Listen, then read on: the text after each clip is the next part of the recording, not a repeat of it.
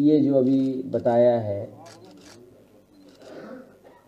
नरेंद्र उनके भाई ने, और भाई के साथ जो लगातार धरने पर बैठे हैं, सहयोग कर रहे हैं, उन्होंने। जो उस परिवार पे बीता है, गुजरी है बातें, वो सब आपके सामने, इससे भी ज़्यादा, अगर उनके परिवार से आप मिलें तो आपको खुद दुख होगा। कि पुलिस प्रशासन किस सीमा तक अन्याय कर रहा है? जो उनके सीमा के अंदर है, जो सीमा के अंदर कर सकते हैं, और सीमा से बाहर जाकर भी कितना इनके ऊपर अन्याय हुआ, उसकी आप कल्पना नहीं कर सकते। और पूरे उत्तर प्रदेश में भय का माहौल बनाने का काम अगर कोई कर रहा है तो भारतीय जनता पार्टी और वो पुलिस के माध्यम से करवा रहे हैं लगातार। जो घटनाओं की सूचनाएँ हैं, घटनाएँ बहुत हो रही हैं, और सरकार ये दावा करती थी, ये इनकाउंटर वाली सरकार इनकाउंटर वाली सरकार ये दावा करती है कि इससे उत्तर प्रदेश का कानून व्यवस्था बेहतर होगा। केवल हम सवाल नहीं उठा रहे काउंटर पे। समाजवादी पार्टी विपक्ष की भूमिका में है। केवल समाजवादी पार्टी सवाल नहीं उठा रही। जितने भी विपक्षी दल हैं, कई मौकों पर इस बात को कहते आए हैं कि पुलिस के माध्यम से फर्जी इनकाउंटर हो रहे हैं। अब तो तमाम संस्थाओं की रिपोर्ट भी आ गई है। कुछ रिपोर्टें पेश हुई हैं। कई पत्रकार साथियों ने अपनी रिपोर्ट में लिखा है, कई स्टोरीज आई हैं अखबारों में आई मैगजीनों में आई हैं कि उत्तर प्रदेश सरकार उत्तर प्रदेश की पुलिस किस तरीके से इनकाउंटर कर रही है। पहले तो यह सूचना मिलती थी कि इनकाउंटर हो गया और उस पर इनाम इतना था। अगर आपको याद हो, पिछली प्रेयर कॉन्फ्रेंस में मैंने यही कहा था कि सरकार को कम से कम जिन लोगों पर इनाम घोषित है, उसकी सूची बाहर लानी चाहिए। जिन अपराधियों पर इनाम घोषित है, वो सूची जनता जाने, वो बाहर आनी चाहिए। वरना होता यह है कि इनकाउंटर कर दिया, उसके बाद इनाम घोषित कर दिया उस पर। ये तो एक नरेंद्र की घटना है, जिस तरीके से उत्पीड़न किया, न्याय किया और इतना अन्याय किया, उसकी जान चली गई। क्या उन्नाव में ये नहीं हुआ था? उन्नाव वाली भी घटना यही थी कि पुलिस, प्रशासन और सरकार पूरी मदद कर रही थी। और इतना उत्पीड़न हुआ, इतना अन्याय हुआ, इतनी मारपीट की गई तो इसके पिता की जान चली गई। बाराबंकी की घटना, जो बेटी, जो बहन यहाँ न्याय मांगने आई थी, उसकी भी जान चली गई। और उत्तर प्रदेश को कभी इतनी नोटिस नहीं मिली होंगी ह्यूमन राइट कमीशन की तरफ़ से, जितनी इस सरकार को लगातार मिल रही है। क्योंकि सरकार ये मानती है कि इनकाउंटर से कानून व्यवस्था बेहतर होगी। जब सरकार खुलेआम सदन में कहे उनके मंत्री कहें, विधायक कहें, अगर पुलिस के हाथ में आ जाएँगी चीज़ें, और पुलिस का न्याय होने लगेगा तो उसको कोई नहीं रोक सकता। इसलिए हम आपसे अपील भी कर रहे हैं और एक घटना जो हुई है, जो उस परिवार पे गुजरी है, वो मैं आपको बताना चाहता हूँ। ये सरकार की ज़िम्मेदारी है, न्याय मिले। सरकार की ज़िम्मेदारी है, प्रशासन की ज़िम्मेदारी है, मदद करें। जब ये परिवार मुझे दिल्ली में मिला, नरेंद्र गुजर इनके परिवार के सदस्य जब मुझे दिल्ली में मिले। मैंने कहा, तुम मुझसे मिलना तो चाहते हो, मैं आपकी मदद भी करूँ, लेकिन याद रखना, अगर प्रशासन और पुलिस जान गई तो आपको मुझसे मिलने नहीं देंगी। और वही हुआ, जब उन्हें पता लगा कि लखनऊ जा रहे हैं तो लखनऊ ना पहुँच जाए, इसके लिए रोकने का काम भी प्रशासन ने किया। कहाँ का लोकतंत्र बचाया बताओ? यही लोकतंत्र है क्या? हम अगर किसी की सिफारिश करना चाहें तो न्याय नहीं मिल सकता। लीडर अपोजिशन अगर करे, किसी की सिफारिश, उसको भी न्याय नहीं मिलेगा। जनप्रतिनिधि कहें तो वो नहीं न्याय मिलेगा। प्रशासन को कुछ भी बताएँ, न्याय नहीं मिलेगा, क्योंकि बीजेपी के लोग तय करते हैं कि किसको न्याय मिलना है, किसको न्याय नहीं मिलना है। बीजेपी के लोग तय करते हैं, पुलिस किस पे अन्याय करेगी? हम तो सुनते ये थे, हम समाजवादियों को तो ये कहा जाता था कि किसी की जान समाजवादी सरकार में चली जाती है तो 50 लाख की मदद करते हैं जात तो धर्म के आधार पर। हम तो कहते हैं, जो मरे हैं उनकी मदद कब करोगे 50 लाख की? अगर समाजवादियों ने 50 लाख से मदद की थी तो आप कब करोगे 50 लाख की मदद से, ये बताया हमें। मथुरा में जो बेटे की जान चली गई थी, एक फर्जी इनकाउंटर गोलीबारी में, मैंने उस समय भी मांग की थी कि उस बच्चे के परिवार को 50 लाख की मदद होनी चाहिए। क्यों सरकार ने 50 लाख की मदद नहीं की? उससे पहले भी लोगों की जान गई, मैंने कहा 50 लाख की मदद करो। मैं आज मांग करता हूँ, ये नरेंद्र गुजर जिस पर फर्जी मुकदमा लगा, जिसका न्याय उत्पीड़न हुआ, जिसकी जान चली गई इसके परिवार की मदद 50 लाख सरकार को करनी चाहिए। इसके परिवार के किसी सदस्य को नौकरी मिलनी चाहिए। घर और सुविधाएँ जो मिल सकती हैं वो मिलनी चाहिए। और भाषा कैसी इन लोगों की? एक विधायक की बताऊँ भाषा में? दो विधायकों की बताऊँ भाषा? इनके नेताओं की भाषा बताएँ? कह रहा ना, चुनाव होने जा रहा है, कह रहे हैं कि अगर यहाँ दूसरे दल के लोग जीत जाएँगे तो दिवाली कहाँ मनेगी? पाकिस्तान में मनेगी। हम तो कभी नहीं गए पाकिस्तान। हमारा तो वीज़ा भी नहीं है पाकिस्तान का। बीजेपी के बताएँ, चुपचाप खीर खान खाने कौन गया था पाकिस्तान? खीर खाने चले गए खुद। खीर खाने जाते हैं आप लोग। और चुनाव होने जा रहा है। हिंदू मुसलमान मुस्लिम मर जाएगा तो 50 लाख समाजवादी सरकार देगी। हम तो कहते हैं हिंदू मर गया, अब 50 लाख क्यों नहीं दे रहे हो आप? हम आपसे जानना चाहते हैं, क्योंकि आपने तो हमें बदनाम किया था वो वीडियो हमारे पास। रात भर मैंने वो वीडियो देखे हैं, जिसमें आपके लोगों ने भाषण दिए हैं कि अगर मुसलमान मरता है तो समाजवादी सरकार पचास लाख देती है। हम आपसे पूछना चाहते हैं कि हिंदू मर रहे हैं, उनको पचास लाख कब दोगे तुम?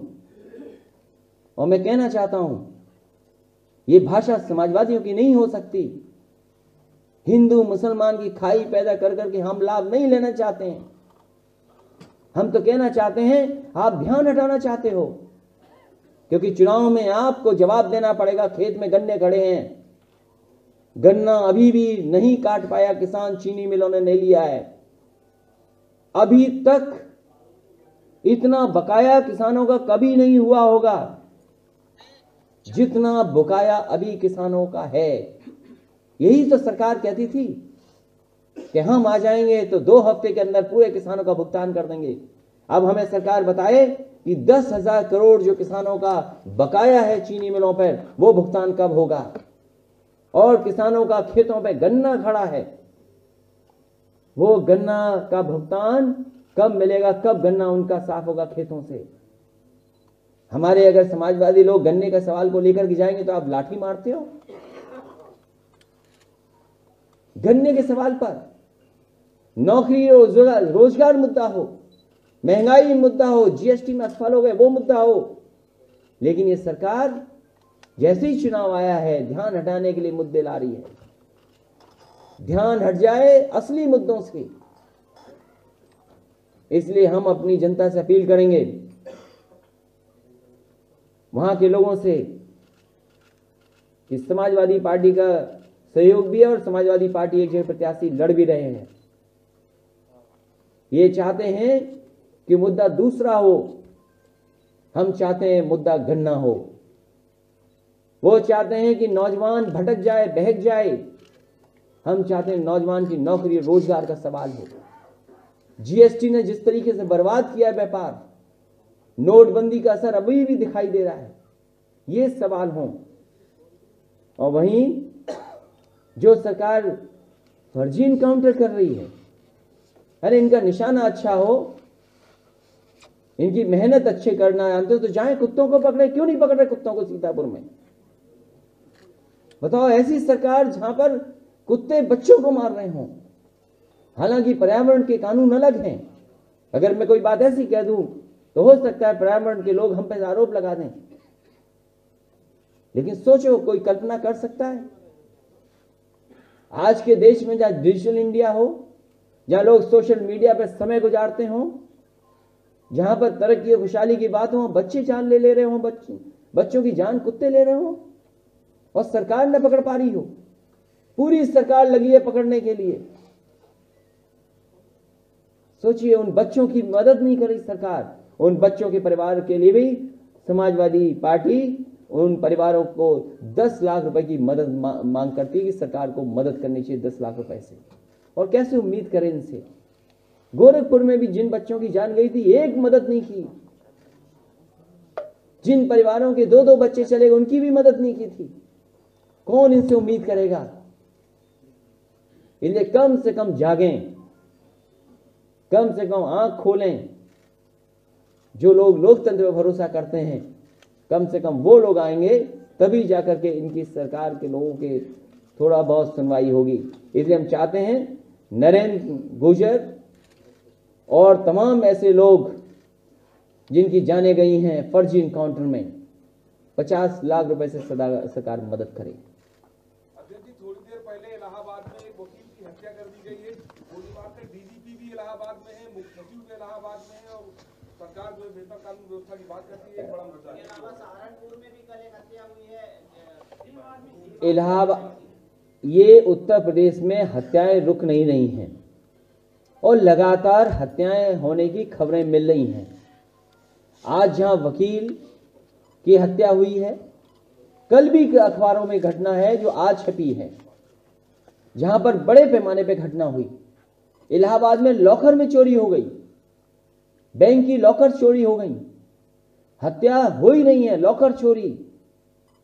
आपके सहारनपुर की बड़ी घटना, जहाँ पर एक दलित नेता की हत्या कर दी। ये सरकार कानून व्यवस्था पर कोई काम नहीं कर रही है। कानून व्यवस्था कैसे बेहतर हो? कोई किसी तरह का सरकार की तरफ़ से अधिकारियों की इशारा है ही नहीं। उनको केवल यह है कि विपक्षी लोग बोल ना पाए। विपक्षी लोग उनकी कोई कमी बता ना पाए, बस उनके पीछे लगे रहो। ये कानून व्यवस्था को बेहतर करने के लिए काम करते तो शायद उत्तर प्रदेश की कानून व्यवस्था बेहतर होती। लेकिन जो कानून व्यवस्था बेहतर करने के लिए काम भी किए गए थे, उन कामों को भी खत्म कर दिया इन्होंने।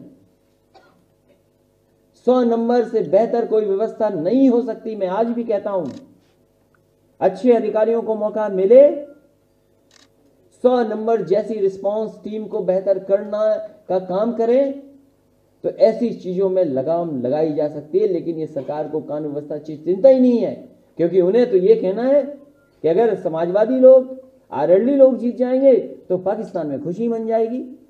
आपने खीर खाई वहाँ वो नहीं बताओगे आप। अखिलेश जी अखिलेश जी अखिलेश जी। अखिलेश जी अखिलेश जी। दो सवाल है। एक एक तो ये की जाँच हो रही है माना ये जा रहा है कि ये अलायंस ना हो इसके लिए प्रेशर बनाया जाएगा क्योंकि मायावती पहले भी ये बात कह चुकी है। मैं लखनऊ के लिए शाम में अवध बनवा रहा था। और इसलिए बनवा रहा था कि हजरतगंज में इधर बहुत भीड़ होने लगी थी। शाम में अवध भी बिक गया। कितने रुपए में बिक गया? हज़ारों करोड़ की चीज़ को कुछ करोड़ों में बेच दिया। नहीं बेचा कि नहीं बेचा, ये बताइए। बिक गया कि नहीं बिक गया? उससे कीमती कोई जगह हो सकती है? हम मांग करते हैं कि उसकी सीबीआई जाँच हो। क्या हमारी मानी जाएगी? मैं कहूँ ईडी से जाँच हो, क्या मेरी मानी जाएगी? मैंने कहा, जितेंद्र यादव की वो गोली मार दी, वो आज विकलांग बेड पे पड़ा हुआ है। मैं सीबीआई मांग कर रहा था, क्या सीबीआई हो गई? मैं तो धन्यवाद दूँगा हाई कोर्ट के चीफ जस्टिस साहब का कि कम से कम उनकी वजह से ये उन्नाव में सीबीआई हो गई, वरना सीबीआई नहीं होती। संस्थाओं पर प्रश्न लगने का सवाल खड़ा है। और ऐसो आपका हो, आपने देख लिया ना उन्नाव में क्या हुआ था। इसलिए ये चुनाव जो करीब आ रहा है, ये जो दोस्ती थोड़ी बहुत होने लगी है इसकी वजह से भी बहुत सी चीज़ें हो रही हैं, आप बेहतर समझते हैं। परेशानी तो हम लोगों को होगी, लेकिन याद रखना, परेशानी आप पे भी आएगी। केवल हमारे पे परेशानी नहीं है, परेशानी आप पे भी आएगी। इसलिए कम से कम लोकतंत्र के आप भी हैं, एक स्तंभ हैं आप भी। आगे आइए, आप आप भी मदद करिए। नहीं तो पहले हम जाएँगे। बाद में आप भी आओगे।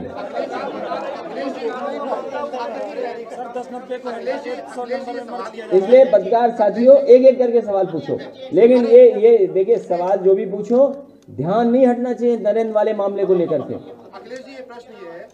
दो प्रश्न है। एक तो ये कि अभी आपके दोस्त जिन्होंने एक मिनट पूछ रहे यार एक मिनट। अरे एक सवाल एक ही पूछा जा सकता है। आप अरे यार। ये ये बताइए वो पार्टी में है ना? बस धन्यवाद। जब लास्ट 2017 में यहाँ पे आपने और राहुल जी ने प्रेस कॉन्फ्रेंस करी थी उस वक्त भी ये सवाल पूछा गया था कि वो अभी आपको चीफ मिनिस्टर देख रहे हैं क्या आप उनको प्राइम मिनिस्टर के रूप में देखते हैं? राहुल जी ने अब कर्नाटका में अपने टूर के दौरान साफ़ कह दिया कि नंबर्स आएँगे तो मैं प्राइम मिनिस्टर होने के, के, के रेस में हूँ। क्या आपको राहुल जी को आप सपोर्ट करते हैं आप उनके प्राइम मिनिस्टर बनने का जो दावा है उस पर क्या कहेंगे? नंबर एक और एक दूसरा सवाल ये कि सुप्रीम कोर्ट ने एक ऑब्जर्वेशन दिया एक्स चीफ मिनिस्टर्स के बंगलों के खिलाफ। उसके ऊपर आपका क्या एक सवाल में कई सवाल पूछने का अधिकार आपको नहीं है। दो ही सबको एक एक सवाल पूछने दो। इक्वलिटी का सवाल है। मैं आपको ये बताना चाहता हूँ और इस मौके का लाभ भी उठाना चाहता हूँ। तेलंगाना के मुख्यमंत्री जी को मैं बधाई देना चाहता हूँ। कि उन्होंने देश की किसानों के लिए सबसे बेहतरीन योजना लागू करने की शुरुआत करने जा रहे हैं। मैं समझता हूँ, आने वाले समय में हर प्रदेश इसी तरह अपने किसानों को सुविधा देने का काम करेगी। ये जो स्कीम जिस तरीके से लागू, और हालाँकि जब मैं गया था तेलंगाना तो इस स्कीम के बारे में भी उन्होंने विस्तार से मुझे बताया था। ये किसानों का सवाल प्रदेश सरकारें ही हल कर सकती हैं। आप देखिए अभी कुछ दिन पहले ये आप तय करो कि आखिरकार कौन किसको गुमराह कर रहा है। इन्वेस्टमेंट मीट हुई थी। देश के प्रधानमंत्री जी आए, उन्होंने कहा कि मलियाबाद का आम, दशहरी आम पूरे देश में जाता है, उसकी पहचान है। उत्तर प्रदेश की सरकार ने मलियाबाद में ही बनने वाली आम की मंडी को रोक दिया। देश के प्रधानमंत्री जी ने यह भी कहा कि कन्नौज का इत्र, जिसकी खुशबू दुनिया में महकती है, उत्तर प्रदेश की सरकार ने वहाँ परफ्यूमरी पार्क और एक परफ्यूम का बेहतरीन म्यूज़ियम बन रहा था, वो रोक दिया। आलू के बारे में कहा, आलू की मंडी रोक दी। तो आप क्या उम्मीद करोगे सरकार से? मैं बधाई देना चाहता हूँ तेलंगाना के मुख्यमंत्री जी को। जो किसानों को लेकर के एक बहुत बेहतरीन आ रही है योजना। और जो बात आप कह रहे हैं, ये चुनाव के बाद तय होगा। हालाँकि कांग्रेस पार्टी के राष्ट्रीय अध्यक्ष से हमारे संबंध बहुत अच्छे हैं। अभी तो हम ही पाँच हैं और सात हो गए। ये वाली गिनती तो नहीं गिनी जाएगी उसमें अगली बार। अगर ये वाली गिनती गिनी जाती हो तो हम तैयार हैं आज ही। ये गिनती गिनी जाएगी क्या? ये चुनाव के बाद गिनती जो नई आएगी उसमें तय होगा। और कोई सवाल? हाउसिंग वाले पे अगर बोलना चाहे बंगलो वाले पे बोल दीजिए। आप रिव्यू में जाएँगे या क्या करेंगे? जी।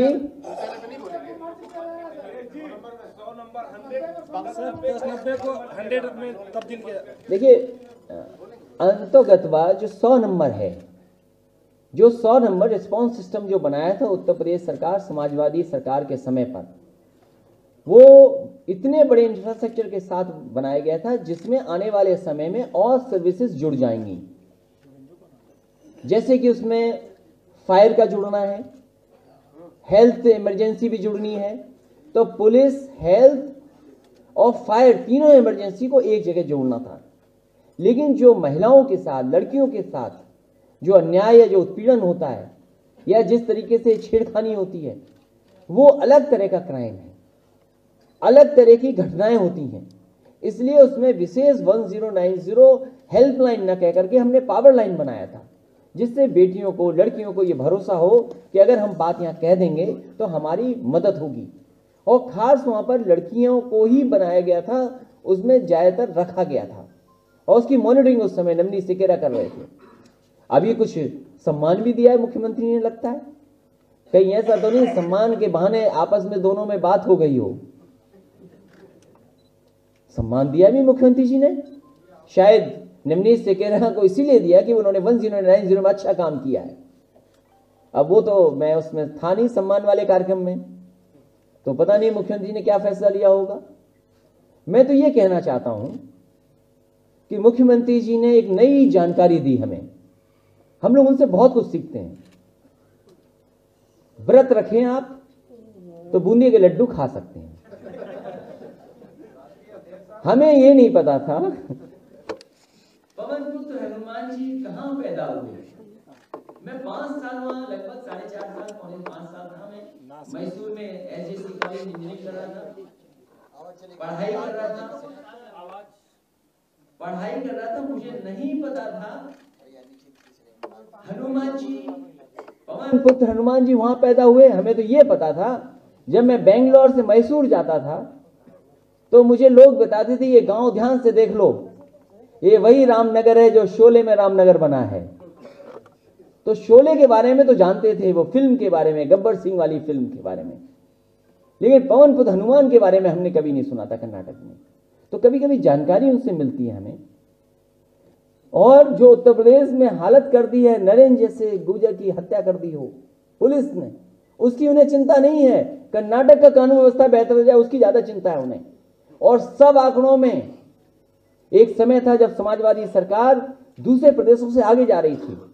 कैपिटल इन्वेस्टमेंट में हम आगे जा रहे थे। हम रोड के इंफ्रास्ट्रक्चर में आगे जा रहे थे। बिजली के उत्पादन में हम आगे जा रहे थे। डिस्ट्रीब्यूशन लाइनें बिछानों में हम आगे जा रहे थे। लैपटॉप डिस्ट्रीब्यूशन करने में हम आगे जा रहे थे। आप बताइए सरकार कहाँ जा रही है? और कर्नाटक को सिखाने जा रहे हैं बताइए। अरे कुछ कन्नड़ सिखाएँगे तो हमसे बातचीत थोड़ी अच्छी हो जाएगी। उनके और लोग नहीं समझ पाएँगे कि हम दोनों लोग किस भाषा में बात कर रहे हैं।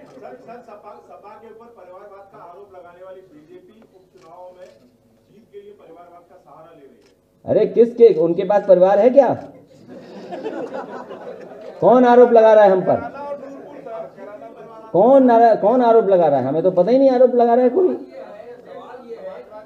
मैं आपको कह दूँ, मैं आपको कह दूँ, सबसे ज़्यादा परिवारवाद को बढ़ावा देने वाली भारतीय जनता पार्टी है।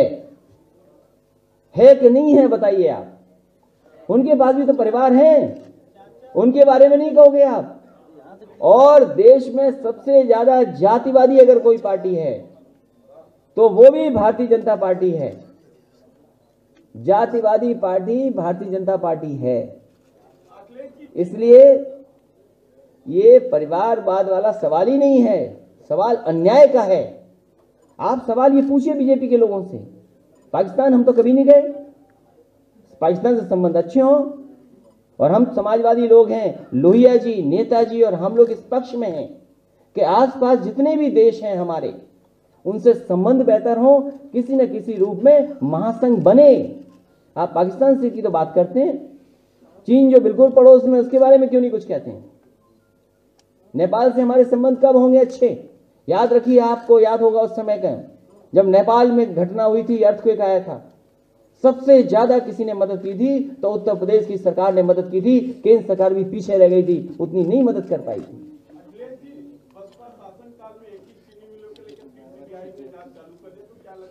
ये चुनाव आ रहा है, वैसे वैसे सीबीआई भी आ रही है। बहुत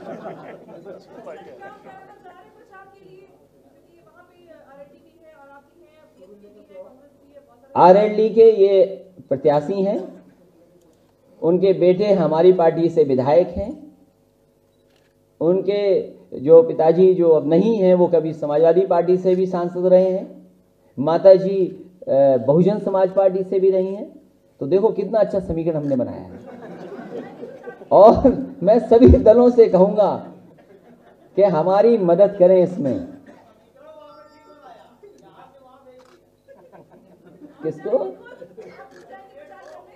हम आपके माध्यम से यहीं से प्रचार करेंगे। सिद्धार्थनाथ सिंह अभी यूएस से लौट के आए हैं। उन्होंने बोला इन्वेस्टर समिट पे सत्तर पचास से सत्तर हज़ार करोड़ रुपए बहुत जल्दी घोषित करने वाले जो एमआईयू जो एमओयू से कन्वर्ट हुए दावा तो पाँच लाख करोड़ का क्या कहना है? देखिए सबमिट करने जा रहे हैं आप। ये देखिए ऐसा है हर चीज़ का एक समय होता है। हम आपसे ये जानना चाहते हैं आपके माध्यम से कि पिछले चार साल से ज़्यादा समय गुजर गया केंद्र सरकार का। उत्तर प्रदेश में क्या इन्वेस्टमेंट उन्होंने कराया है? अगर एक करोड़ का भी केंद्र सरकार की तरफ़ से इन्वेस्टमेंट हुआ हो तो बता दें आप।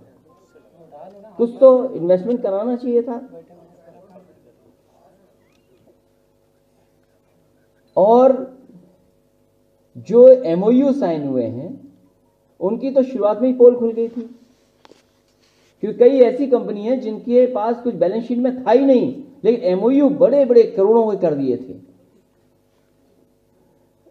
उत्तर प्रदेश में जितना एमओयू है और एमओयू के हिसाब से बजट में पैसा क्या है? आप इंसेंटिव्स क्या दे रहे हैं? आपने जो समाजवादी सरकार में इंडस्ट्रियल पॉलिसी थी, उससे क्या बेहतर आपने इंसेंटिव दिए हैं, जिससे आपका इन्वेस्टमेंट आ रहा है? कोई ऐसा नहीं है। और फिर ज़मीन कहाँ है? अभी इधर बहुत शोर मचाया जा रहा है। और ये चुनाव तक शोर मचता ही रहेगा। ये वही डिफेंस कॉरिडोर। डिफेंस कॉरिडोर से बड़ा गुमराह करने के लिए कुछ है ही नहीं। और मैं इसलिए बात कहना चाहता हूँ आपसे, उत्तर प्रदेश में मैंने एक पत्र लिखा था एक्सप्रेस वे बन जाने के बाद, और मैंने पत्र लिखा केंद्र सरकार को कि मैं चाहता हूँ कि एक कैंटोनमेंट बन जाए एक्सप्रेसवे के किनारे। दिल्ली सरकार की तरफ़ से चिट्ठी आई कि कोई कैंटोनमेंट के लिए हमारे पास प्रस्ताव नहीं ना हम कैंटोनमेंट बना सकते हैं। सरकार बनते ही मैंने कुछ सड़क चौड़ी करने के लिए प्रस्ताव यहाँ से भेजे और व्यक्तिगत रूप से अधिकारियों से भी बात की, जो आर्मी के होते हैं और समय समय पर जो कोऑर्डिनेशन मीटिंग होती है उत्तर प्रदेश सरकार की और आर्मी के बीच में, उसमें भी हमने उन बातों को रखा। उदाहरण के लिए ये कैंटोनमेंट वाली जो रोड जो एयरपोर्ट जाती है, हमने कहा ये सिक्स लेन एट लेन हम बनाना चाहते हैं। ये सुल्तानपुर रोड वाली हम सिक्स लेन एट लेन बनाना चाहते हैं। कुकरेल वाला पुल हम क्लियर करना चाहते हैं। ये आपका पिपड़ा घाट में ब्रिज बनाना चाहते हैं। और कैफी आजमी जी के नाम से जो अकेडमी बनी थी, वो हम बनाना चाहते हैं। लेकिन डिफेंस ने हमें परमिशन ही नहीं दी। दो साल बहुजन समाज पार्टी इंतज़ार करती रही कुकरेल के पुल को पूरा करने के लिए। पाँच साल हम परमिशन मांगते रहे। पाँच दो सात और एक आठ साल हो गए। बताओ कितना ही परमिशन मिल गई? जब मामूली सी सड़क बनाने के लिए केवल एक शहर में नहीं डिफेंस परमिशन दे रहा हो, और डिफेंस कॉरिडोर बना करके जनता को आप गुमराह करना चाहते हो, पहले ये बताओ आपने बबीना के लिए क्या काम किया है? बबीना से बड़ी डिफेंस की आर्मर के लिए कोई जगह नहीं है। दो तीन स्टेट को लेकर के है। क्या आपने किया? आप लखनऊ में बता दीजिए डिफेंस का क्या काम किया? मैन्युफैक्चरिंग जो सबसे ज़्यादा कानपुर में होती है आपने वहाँ के लिए क्या किया? वहाँ पे आर्म फैक्ट्री है, उसके लिए क्या किया किया आपने? मैंने एक रोड मांगी थी, क्योंकि कई स्टेटों को जोड़ करके वो रोड लिपू लेक तक पहुँचती है, चीन बॉर्डर तक। ग्वालियर कैंटोनमेंट फतेहगढ़ कैंटोनमेंट आपका बरेली कैंटोनमेंट रानी खेत और वो सीमा तक चली जाती है सड़क। हमने कहा, ये सड़क हम फोर लेन सिक्स लेन बनाना चाहते हैं। बताइए, वो सड़क फोर लेन सिक्स लेन बन गई? और सबसे बेहतरीन काम कम समय में 21 महीने में जो किया बताइए डिफेंस के लोगों ने दो बार वहाँ पर हवाई जहाज़ उतार दिए कि नहीं उतार दिए? सिर्फ़ की हवाई पट्टी भी यूज़ हो गई। ये ना जेवर एयरपोर्ट बनना है, और नहीं ये डिफेंस कॉरिडोर बनना है। हम और आप अखबार में सुनते रहेंगे, आप बड़ा बड़ा लिखते रहना। जनता समझेगी हाँ इसी से नौकरी रोज़गार आएँगे, इसी से इन्वेस्टमेंट आएँगे। हम भी गुमराह हो जाएँगे आपके कहने से। ये गुमराह करने के लिए ये सब एक चल रहा है, समय बचा नहीं है। इसीलिए मैंने कहा हर चीज़ का समय होता है।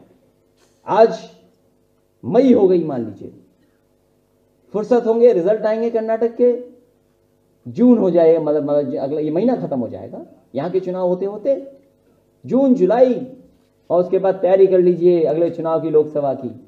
अब किसी के पास समय नहीं है। न इन्वेस्टमेंट करने वालों पे समय होगा, न इन्वेस्टमेंट लाने वालों पे समय होगा। हम सब लोग जनता के बीच में होंगे, हाथ जोड़े नमस्कार कर रहे होंगे।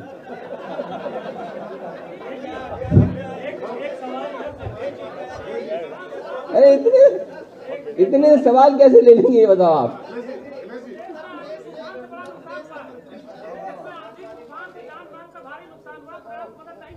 वो तो इसलिए मुख्यमंत्री जी वापस आ गए कि हमने कह दिया, नहीं परमानेंट मठ बना लो वहाँ पर। और कोई मदद नहीं हुई आंधी तूफ़ान से जान जाने वालों की। कोई जान नहीं। याद कीजिए, बुंदेलखंड में एक समय सूखा थी। हमने पंद्रह लाख तक लोगों की, किसानों की मदद की थी। बताइए क्यों नहीं मदद कर रहे किसानों की, गरीबों की? घर का नुकसान हो गया, टीन शेड उड़ गई, जानवर चले गए, कुछ पता नहीं?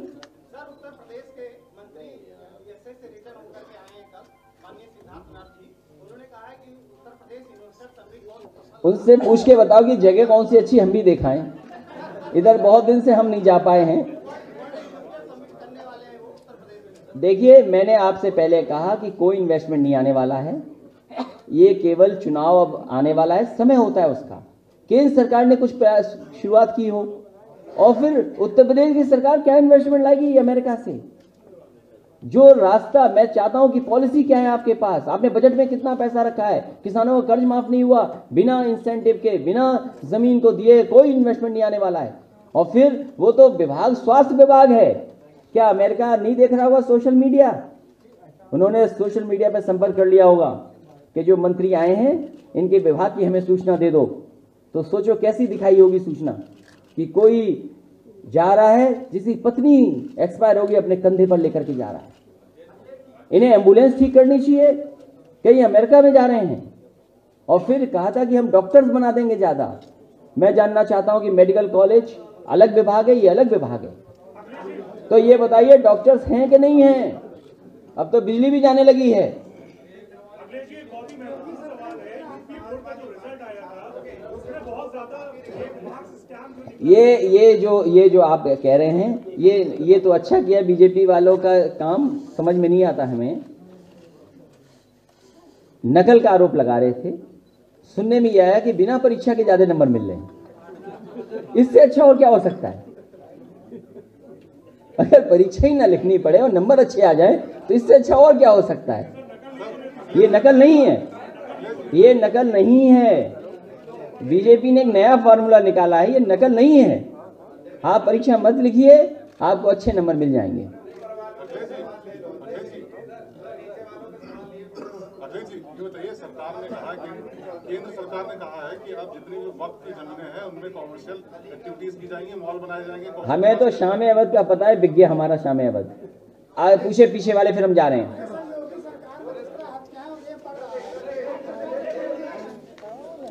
ये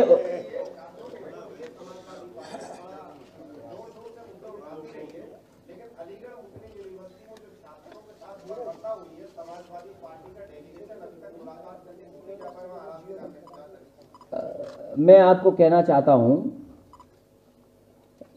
समाजवादी पार्टी और खासकर हमने पहले दिन ये कहा था कि ये पुलिस का काम करने का तरीका ठीक नहीं है। और वहाँ अगर किसी ने बवाल कराया है तो उत्तर प्रदेश की पुलिस ने वहाँ पर बवाल कराया है। अगर पुलिस चाहती तो यूनिवर्सिटी में बवाल कभी नहीं हो सकता था। पूरी ज़िम्मेदारी अगर किसी की है तो भारतीय जनता पार्टी की है। हालाँकि मैं उस बात को आपको कहना चाहता हूँ। उन छात्र नौजवानों ने हमारा भी कार्यक्रम तीन तारीख का मांगा था। तीन तारीख को हमें जाना था। लेकिन किन्हीं कार्यक्रमों की वजह से हम एमयू नहीं जा पाए। ये पूरा सरकार ने माहौल बिगाड़ने का काम किया है। सरकार चाहती तो ये माहौल यूनिवर्सिटी का नहीं बिगड़ता। जो अन्याय हुआ है लड़कों को, जिस तरीके से एमयू के छात्र संघ के लोगों की पुलिस ने पिटाई की है, कोई कल्पना कर सकता है? बवाल किया दूसरों ने। और पिटाई हो रही है हमारे ये छात्र संघ के नौजवानों की। वैसे मैं आपको बता दूँ, बीजेपी के लोग हमेशा जेब में क्लोरोफॉर्म और ओपियम साथ लेकर के चलते हैं? वहाँ टीपू सुल्तान चल रहे थे हमारे तमाम नेता शासन के गए हैं, तमाम लोग पहुँचे हैं, मिले भी हैं, उनके जो यूनियन के लोग कुछ मिले हैं, बड़ी संख्या में मिले हैं ये बढ़ा है, जो जो आपने कहा है बढ़ा है, और एक उदाहरण है ये नरेंद्र, जो भाई की फ़ोटो लिए बैठा है बेचारा। हम्म?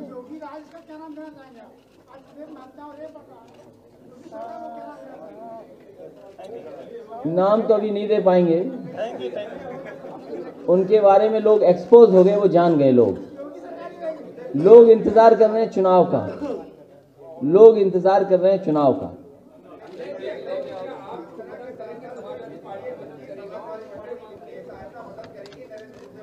किसकी? नहीं, हम जो मदद करेंगे, वो करेंगे, वो अलग बात है। हमारे कार्यकर्ताओं ने मदद की है, किसी ने इक्कीस हज़ार रुपए दिए, किसी ने ग्यारह हज़ार रुपए से मदद की। हम ये जानना चाहते हैं, बीजेपी के लोगों से, जो बीजेपी के लोग भेदभाव करते थे, अब क्यों नहीं मदद कर रहे? हमारी मांग है पचास लाख की मदद करें उस परिवार की। अब बताइए, परिवार में कोई नहीं बचा? एक विकलांग भाई है, एक भाई कैंसर से मर गया। इसको पुलिस ने मार दिया। पिताजी को बीमारी है, माँ बीमार है, और पैरालिसिस है पिता को। तो बताइए, सरकार की ज़िम्मेदारी क्या है?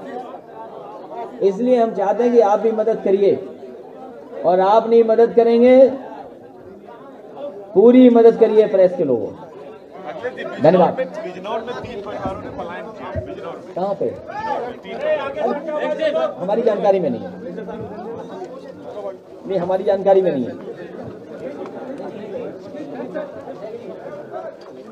कृपया हमारे चैनल को